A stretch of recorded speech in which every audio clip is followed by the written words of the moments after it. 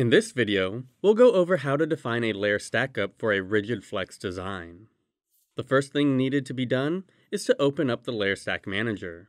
This can be done by going to Design, Layer Stack Manager, or use the keyboard shortcut DK. We now want to add a flex substack to our stackup. To do this, click on Advanced to expand the Layer Stack Manager window. Next, click Add Stack. Give your layer stack a name, and check Flex since this is our Flex stackup. Customize your new stackup by checking and unchecking the layers you want to include. In Flex Designs, a protective layer called a coverlay is added to protect the copper circuitry. We will add these layers to our design by clicking on Add Layer, Add Flex Coverlays. When done, press OK.